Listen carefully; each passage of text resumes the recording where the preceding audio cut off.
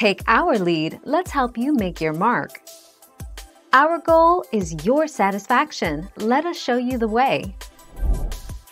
Phospholipids provide barriers in cellular membranes to protect the cell, and they make barriers for the organelles within those cells.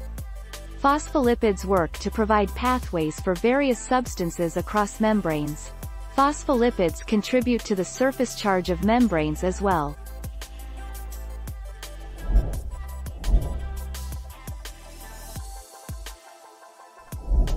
Let's help you make your mark.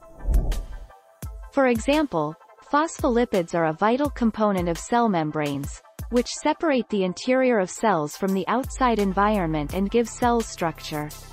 In our diet, phospholipids are also needed to support the absorption of fats and fat-soluble nutrients, like omega-3 fatty acids.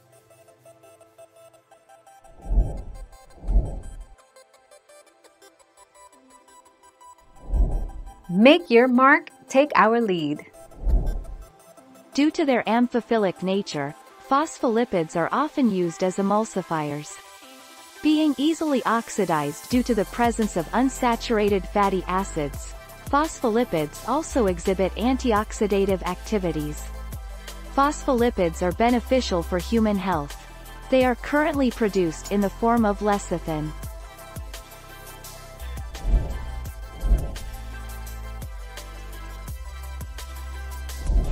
Let's help you make your mark. A phospholipid is a lipid made of glycerol, two fatty acid tails, and a phosphate-linked head group. Biological membranes usually involve two layers of phospholipids with their tails pointing inward, an arrangement called a phospholipid bilayer.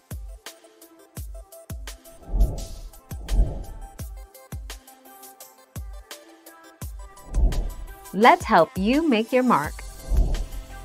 Four major phospholipids predominate in the plasma membrane of many mammalian cells. Phosphatidylcholine, phosphatidylethanolamine, phosphatidylserine, and sphingomyelin.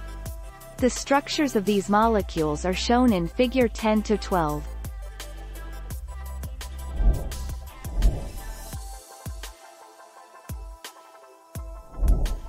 Take our lead. Phospholipids are major components of the plasma membrane, the outermost layer of animal cells. Like fats, they are composed of fatty acid chains attached to a glycerol backbone. Phosphatidylcholine and phosphatidylserine are examples of two important phospholipids that are found in plasma membranes. Thank you for watching. Please subscribe and hit the bell notification.